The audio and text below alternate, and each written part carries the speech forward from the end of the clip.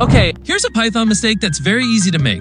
Let's say we have a list of domain names here, and we want to cycle through them and remove www dot at the beginning of each one. So one way you might think to do this is to say, for link Lincoln links, print link.lstrip with an input of www dot. lstrip essentially strips these characters from the left side of the string. The problem is when I run this, you'll see that the W in Wikipedia is now gone. It's because this input for lstrip is actually a list of characters to remove. It's not looking to remove the substring www dot. So I could say w dot, and it would do the same thing. It's looking for all the W's and dots from the left side and removing them until it hits a character that's not in this list. Instead, we should use the remove prefix method with an input of www dot. This method actually looks for the first instance of this substring from the left side and removes it. So let's run this. And there we go. And don't forget to subscribe Python Code Camp, or I will eat all your cookies. See you next time, and happy coding!